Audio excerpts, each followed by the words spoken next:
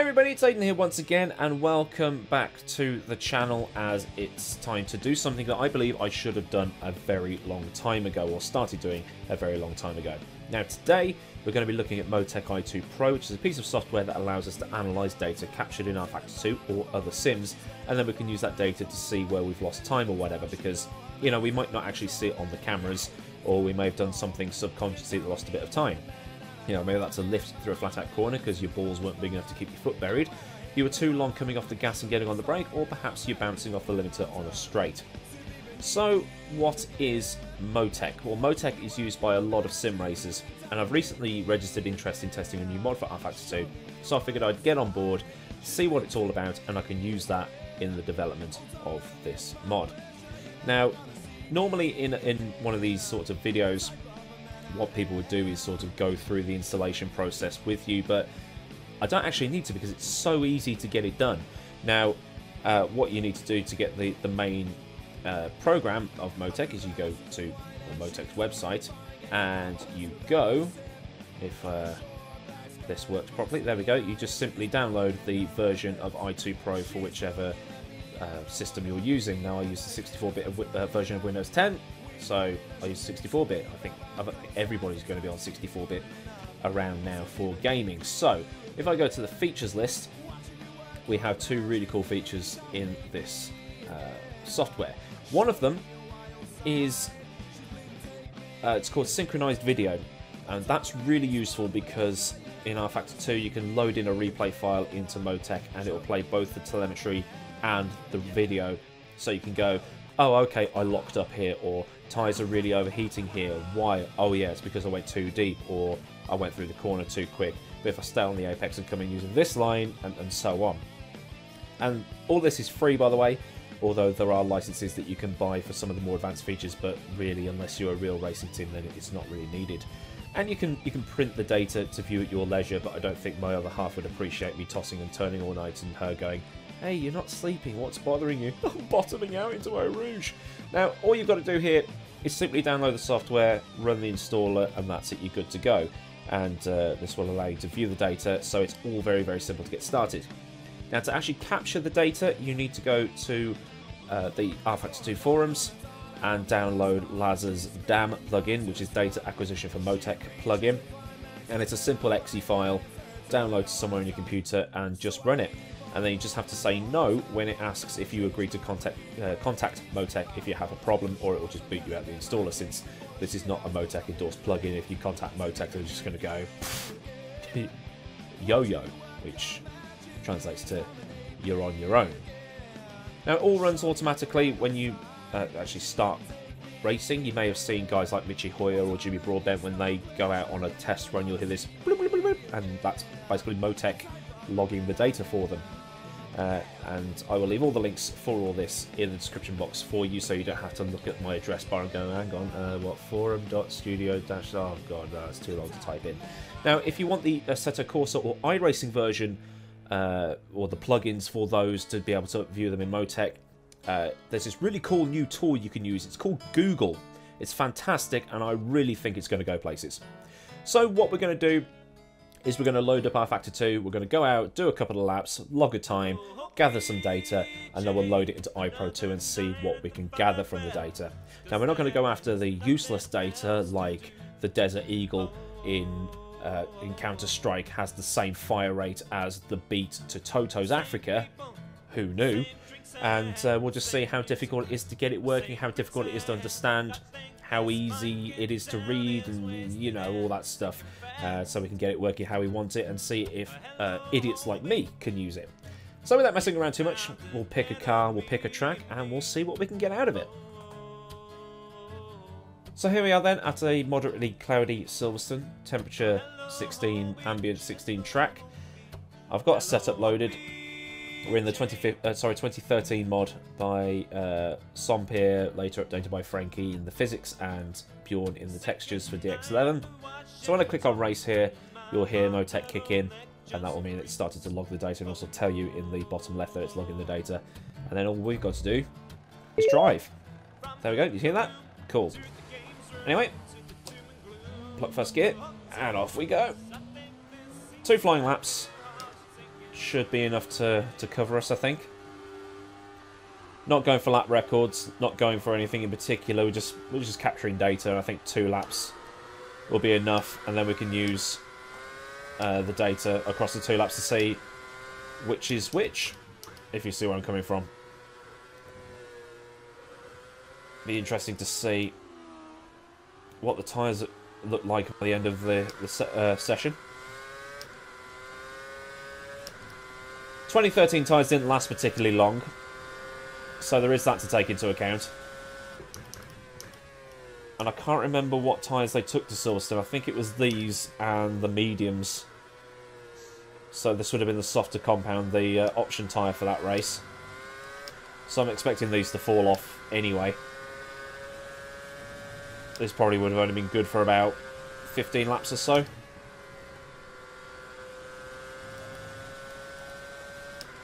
So we've already taken a percent out. Let's see what kind of temperatures we get through here. This is where... I mean, a lot of front-end sliding. So maybe some adjustments to camber or something like that. Maybe a couple more clicks of front wing, that might do it, but... Not going to touch the uh, DRS button. Keep the data control. Starting to sound like a science experiment, isn't it? You don't teach anymore, Aidan. Physics was a big part of what I used to teach, though. Just putting that out there.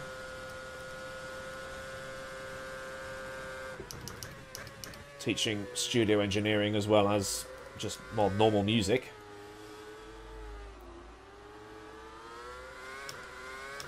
So we did a lot of physics.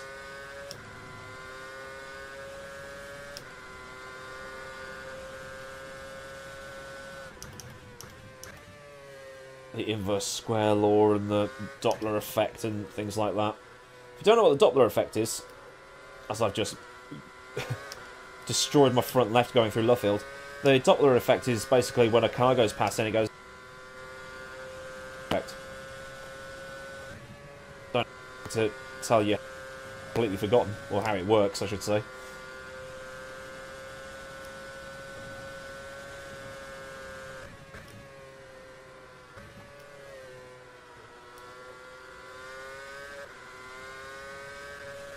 Turned on from that lap I did at Bathurst, or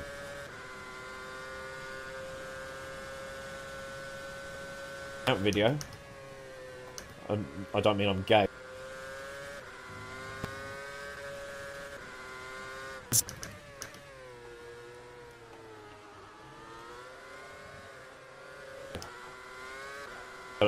Key on the on the data, isn't it? One more lap.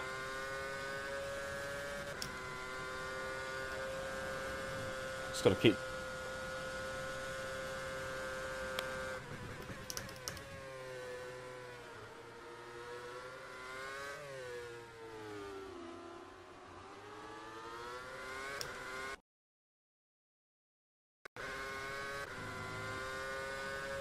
Still none the wiser as to why it does that from time.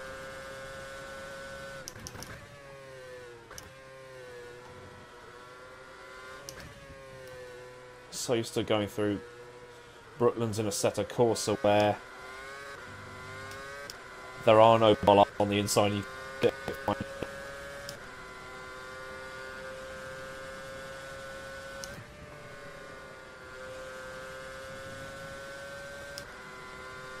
destroy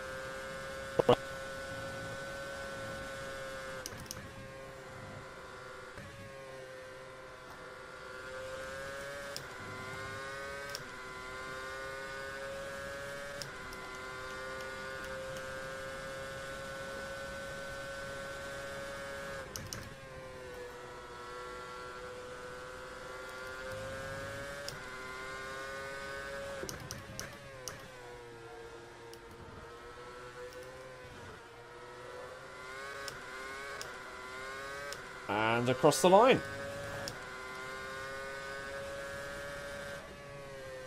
Two tenths up on that final lap because I didn't make that little mistake, but okay. Right, we'll finish here, and uh, we will load the data. So, welcome back to Windows, and now we need to look at our data. So I'm just going to go onto my log folder here. I've just made a shortcut onto the desktop for it, to be honest. Um, it's in Steam, Steam Apps Common, rFactor 2, and then log in big letters. And then you just click on the one you want to look at, which is this one. This is the most recent one. And here is our data. Pretty damn cool. Now, some of this won't be there to start with. Uh, the engine RPM that was there, speed was there, throttle was there, brake wasn't there, and then you got the, the G-forces as well, which I'm not really interested in, to be honest. Um, but the brakes I put in myself, so all you got to do is go to properties, and then add a channel, and you can add all the stuff that you need to do. Now, um, so yeah, if you just want your brake position, you just double click on that, and then set the colors as you want. And then if you see it and you're like, oh, that's not where it should be, you just double click on, on the thing you want to change and then you just go to the mode, the minimum level, maximum level. So if I change that to 4K, because we weren't really much off idle for the whole thing, were we? So yeah, that's all good. I max that out to 320, which is 200 miles an hour. But we can see what's going on. Uh, we've got our out lap, we've got our in uh, our the lap that we did, and we've got our in lap. Uh, well, because that was because yeah, this was actually our second time lap. It's counted it as the in lap because we abandoned just after, as you can see here, we where we got off the throttle, and the speed's coming down and all that stuff. But zooming in and looking at our, you know, uh, if I go to here, just drag that across. So even the turns are labeled. So we've got turn one. So we went flat through turn one turn three, we had a bit of a lift for some reason. Then we got back on, and then we hit the brakes for the first part of the farm section just here. So we've got all of that. Now I need to go onto here and then go to properties. And then I need to go to add channel. Uh, what I want to do is I want to go tire temperature. Now if I control click on some of these, I can do this and then we can get our um, what's it called? So I need to I'm going to delete these because I don't want them. And then I'm going to do the front tires up. I'm just showing you how to how to do this really. So we've got our front left and front rights